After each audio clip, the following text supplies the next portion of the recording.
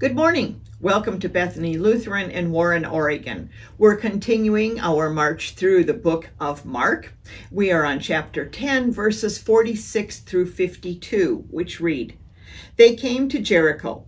As he and his disciples and a large crowd were leaving Jericho, Bartimaeus, son of Timaeus, a blind beggar, was sitting by the roadside. When he heard that it was Jesus of Nazareth, he began to shout and say, Jesus, son of David, have mercy on me. Many sternly ordered him to be quiet, but he cried out even more loudly, Son of David, have mercy on me. Jesus stood still and said, Call him here. And they called the blind man, saying to him, Take heart, get up, he is calling you. So throwing off his cloak, he sprang up and came to Jesus. Then Jesus said to him, What do you want me to do for you? The blind man said to him, My teacher, let me see again. Jesus said to him, Go, your faith has made you well. Immediately he regained his sight and followed him on the way. This is the word of the Lord. Thanks be to God. Let us pray. May the words of my mouth and the meditations of our hearts be acceptable to you, O God, my rock and my redeemer. Amen. Grace to you and peace from God our Father and the Lord Jesus Christ. Amen. Pastor Stephen Elberton told the following story. He said, In my church's secretary's office, there hangs a modernistic picture composed of a maze of colors and shapes. I realized these sophisticated, modern, and abstract pictures were supposed to contain some profound artistic or philosophical message, but I never was able to figure it out. It just looked like a jumbled mass of confusion. If there was a message there, I was blind to it. One day, while I was standing in the office waiting for the copier to warm up, one of the congregation's kindergarten age boys, Adam, stood beside me and said, Do you see what I see? Do you see something in that picture? I sure don't. Adam looked at me with glee in his eye. Pastor, can't you see him? It's Jesus hanging on the cross. I stared as hard as I could until my eyes actually hurt from staring. I wanted to believe Adam and that there actually was the image of Jesus hanging on the cross hidden somewhere in that mass of color and shapes, but I could not see Jesus anywhere. Adam, I'm sorry. I must be blind. You will have to help me see. Directing his finger to a mass of color in the center of the picture, Adam said, There, Pastor, do you see what I see?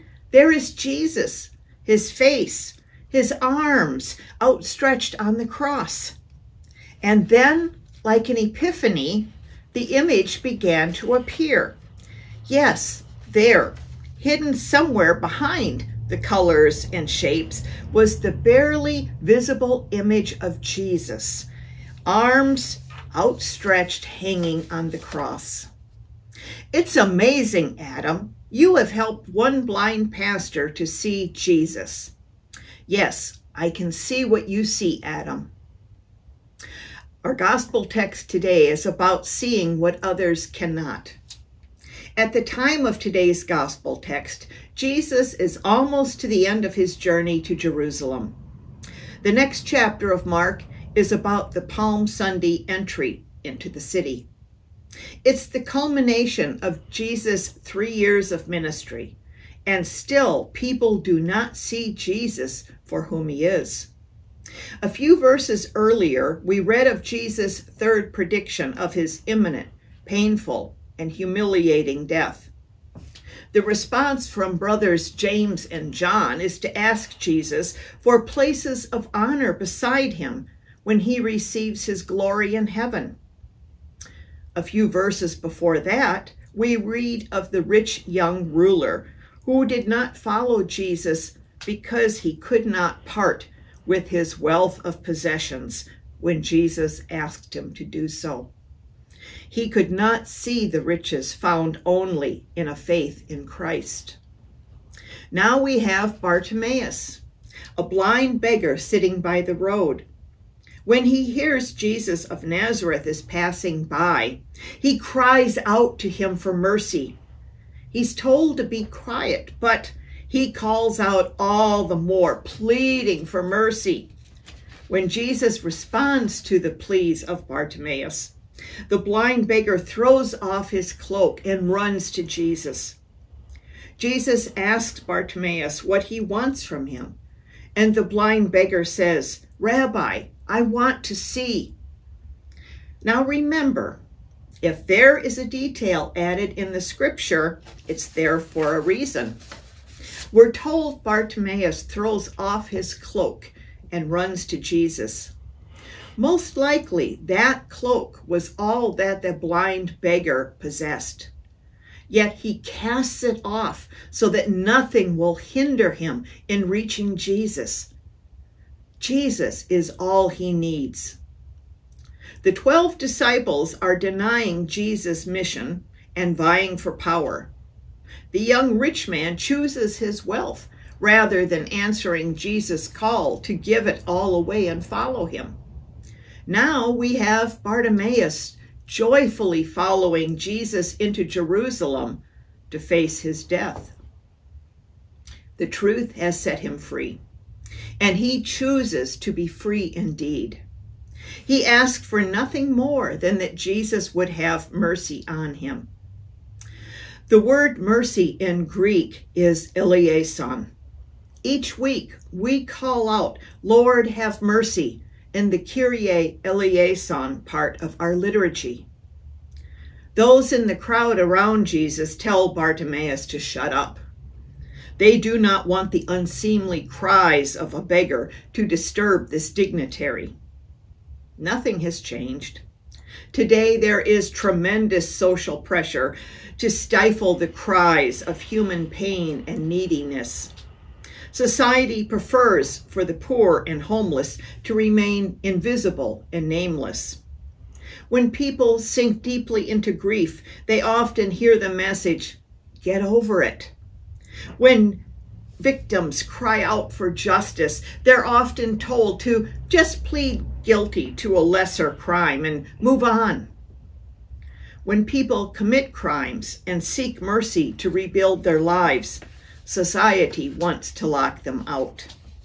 There is no mercy for a second chance.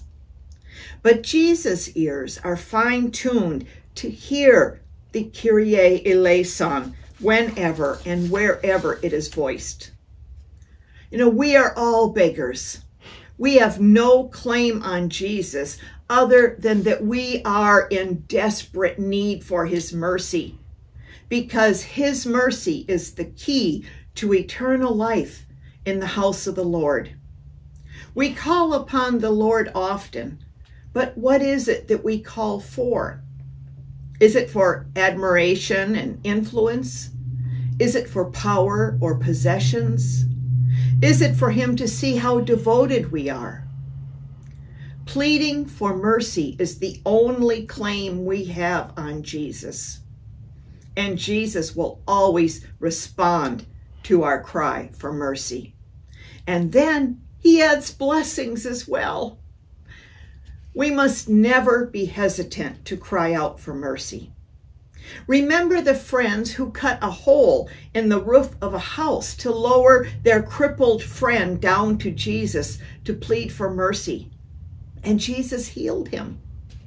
Remember the unclean woman who reached out just to touch Jesus' robe, silently crying out for mercy. Jesus heard her and had mercy. We've heard about Jairus, who fell at Jesus' feet and pleaded for mercy for his dying daughter, and Jesus healed her.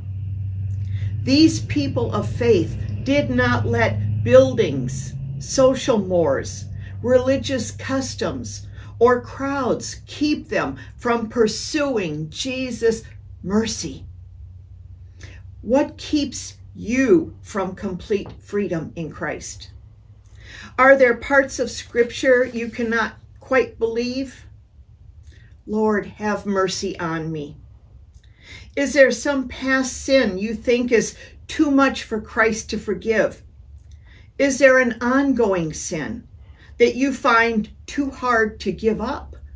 Lord, have mercy on me.